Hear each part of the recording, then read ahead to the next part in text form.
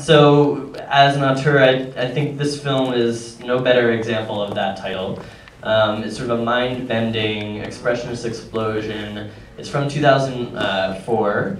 Uh, if you've seen it already, as some of you have, uh, I hope you're back to see it on the big screen and the proper way to see it. Um, if you haven't yet, perhaps you've heard some of the folklore about the film. Uh, it's not one that you're going to leave without an opinion, I'll tell you that. Um, in any case, no matter how you're here, we're happy to have it, and we're really excited to share it with, with you guys here tonight. Um, this is one of many programs at the festival, both special screenings like this and films in competition, brand new films.